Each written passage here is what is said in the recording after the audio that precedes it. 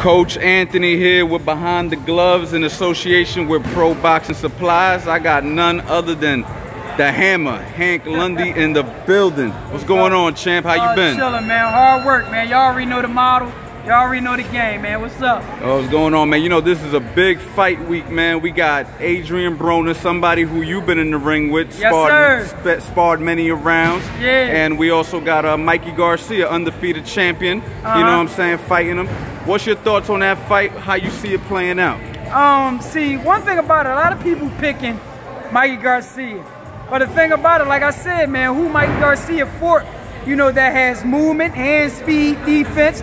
Everybody, everybody that you see Mikey Garcia in there with were right in front of him. Now, Adrian Broner, bigger guy, and I'm gonna keep it real, you know. I think Broner's gonna stop him or, or beat him badly where you know the ref had to come in and stop the fight. I got Broner winning by knockout, man. Really, really. That I mean, you know what? A lot of people starting to change their predictions last minute. A lot of people was jumping on the Garcia bandwagon. Now they see how hard uh, Adrian Broner's training. Now look, you've been in the ring with Adrian Broner when Right. he's at his best. You got him prepared for a couple of big fights. If, Right. I, if I'm not mistaken, a couple world title fights. Yeah, yeah. And uh, how is it sparring with Adrian Broner when he's at his best? Oh man, you know it bring the best out of you. You know what I mean? Me and Adrian, we've been in what three, four camps. I help him get ready for three world titles. Um, actually, you know, me and him, it was iron sharper iron. You know, you got a skillful, you know, Hank Lundy, you got a skillful Adrian Broner. So that was like the best of both worlds. So what way to go into a fight, you know, sparring or having a guy that's up there, you know I mean, on that A level, you know I mean, to get you ready. And I really, I really think Broner, man, he's gonna surprise a lot of people. Listen, everybody was saying, oh, he can't make weight, or he drained himself to make 140. I tell you the truth, Adrian Broner still can make 135 if he really wanted to. If he really wanted to discipline himself, he still can make 135, man. Listen, the guy, I could say, he, he's sort of what, like me a little bit. We big up top, but down down the bottom, like he got he got small legs. You know what I mean? Listen, when I fight, I got chicken legs, man. So you know, it's just the upper body. But otherwise than that, that's why I'm I'm able to make 135 still. And I know Adrian Broner at 140. Listen, I, I'm not. Listen, y'all shouldn't sleep on the guy, man. Listen, I'm telling you, y'all. I know best. You know what I mean? I got Adrian Broner by knockout or technical stop. Now they're fighting at 140. I know you are, you're campaigning back at 135. Would you be willing to fight the winner of that fight or the loser for that matter at 140 or would you want to stay at 135? Oh, listen, man. Y'all know me, man. 140, 135, especially, it's go time. Like, Mikey Garcia wanted me to go to camp. Adrian Broner wanted me to go to camp. You know, it was all love, you know what I mean, with the Broner situation, but, you know what I mean, y'all got to pay me, man. You know what I mean? Hammer and Hank work speak for itself. Mikey Garcia, why would I go to camp with you when I'm rated in the WBC now? I'm number 10, but now after this ratings come out, the new ratings, I'm number six.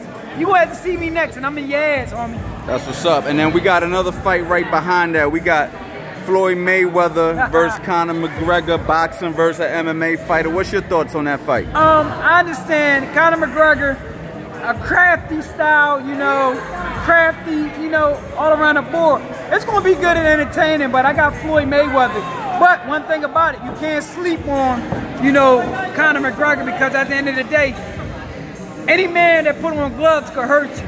Any punch land correctly could get you knocked out.